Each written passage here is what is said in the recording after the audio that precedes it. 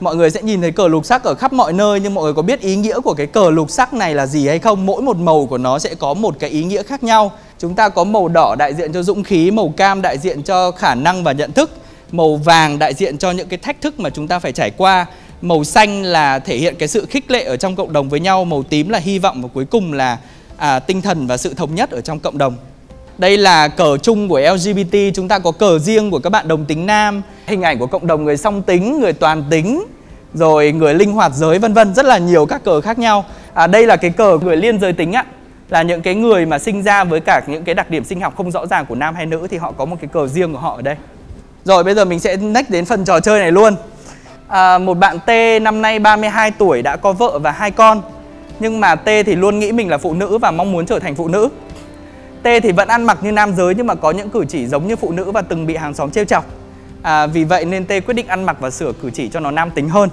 À, T thì chỉ có cảm xúc tình dục và tình cảm với nam giới thôi.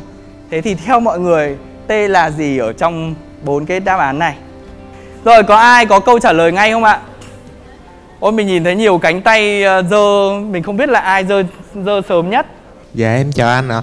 Em xin chọn đáp án A chuyển giới đồng tính ạ. Chốt nha. Chốt. em lộn, em em lộn. Chuyển giới dị tính. Chuyển giới dị tính ạ. Chúng ta có một đáp án ở đây là chuyển giới dị tính. Có ai có đáp án khác không ạ? cái suy nghĩ của anh nam này cũng hướng về nam và cái trái À. tim của ảnh cũng thích nam á cho nên À. là em nghĩ là chuyển giới đồng tính Ok.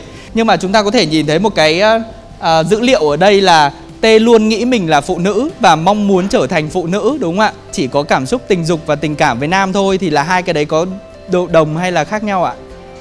Khác nhau thì là gì ạ? Dị tính, đúng không ạ? Bởi vì chúng ta luôn luôn bị nhầm lẫn giữa câu chuyện tình dục và tính dục. Chúng ta có quan hệ tình dục với một người không có nghĩa là chúng ta bị hấp dẫn bởi người đấy. Hay là có những cái người gọi là người lao động tình dục ấy, thì họ bắt buộc phải tiếp tất cả các khách hàng dù là họ có cảm xúc hay không. Thế nên là cái câu chuyện tính dục và tình dục nó sẽ khác nhau. Tính dục ở đây có nghĩa là chúng ta bị hấp dẫn bởi cả về mặt cảm xúc và cả về mặt tình dục.